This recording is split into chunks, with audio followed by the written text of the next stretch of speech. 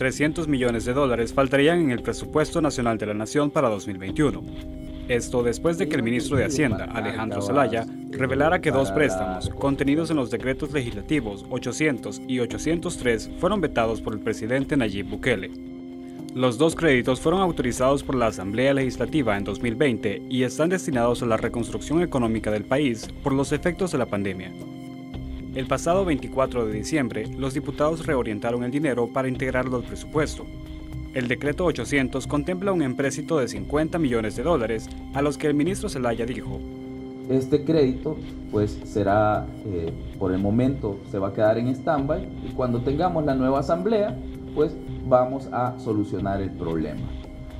A su vez, el decreto 803 contiene un préstamo por 250 millones de dólares. Esa Nochebuena, los parlamentarios propusieron que una mitad sería para las 262 alcaldías y la otra para asegurar el aumento a la pensión mínima.